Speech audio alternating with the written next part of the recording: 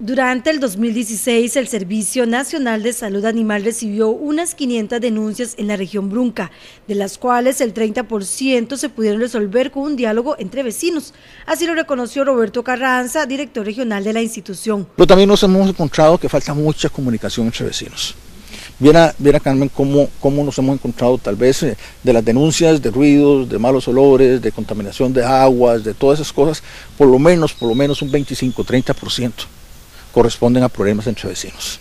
Y ahí, por más SENASA, por más Ministerio de Salud, siempre vamos a quedar mal. ¿Por qué? Porque la persona quiere eh, eh, eh, que se le complazca y el vecino dice, no señor, yo tengo derecho a tener mi perro. El funcionario citó algunos ejemplos. Por ejemplo, lo que nos pasó hace un día de estos, una, señora que, una señora que puso una queja de que había malos olores a través de las aguas residuales de una señora que tenía dos perros.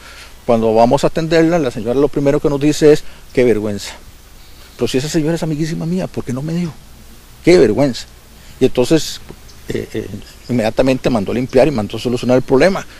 Por curiosidad fui, hablé con la, con la demandante y le dije, mire, ¿por qué usted no habló con su vecina? Y me dice, ah, es que es muy amiga mía y me dio mucha vergüenza hablar.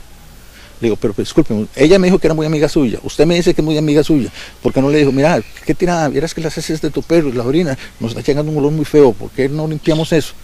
Y se hubiera acabado el problema. Carranza indicó que muchas veces se coordina, según denuncia, con el Ministerio de Salud para atenderla, pero que tratan de asuntos comunales y en donde hasta los dirigentes podrían intervenir. Pero eso, eso nos costó que se trasladara un grupo, un, un vehículo del Ministerio de Salud y un vehículo de Senasa hasta San Pedro, creo que fue Cajón o San Pedro, para solucionar un problema que perfectamente una señora y la otra señora la hubieran solucionado conversando entre ellos. ¿verdad? la, problemática entre vecinos no la vamos a solucionar nosotros, no la va a solucionar el Ministerio de Salud, eso lo tiene que solucionar la misma comunidad. ¿verdad? Por ejemplo, nos dice, mire, es que en la comunidad tal hay muchos perros sueltos. Y son perros a, ah, volantes. No, no, eh, todos los perros tienen dueños, ¿sí? Bueno, eh, eh, entonces es un problema comunal.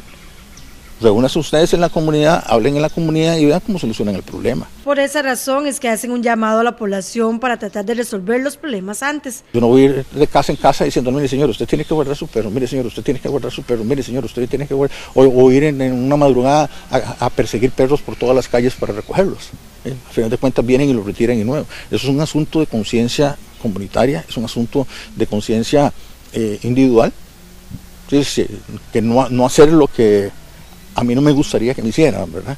Pero esos, esos problemas, eh, poco a poco, eh, tenemos que irlos solucionando, pero como te digo, es, es, es más una conciencia comunal, una, una manera de convivencia que un asunto que pueda solucionar el Ministerio de Salud o SENASA. En el SENASA consideran necesario que los vecinos tengan más comunicación antes de presentar una denuncia.